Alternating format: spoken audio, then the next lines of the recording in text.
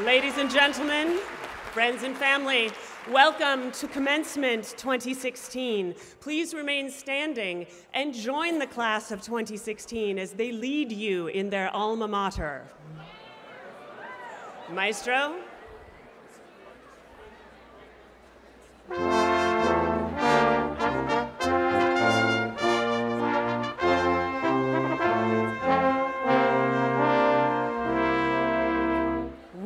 like the sons and the daughters of Claremont McKenna, and proud of our famed alma mater, with friends of our youth, seeking wisdom, seeking truth, we will lead on from Claremont McKenna.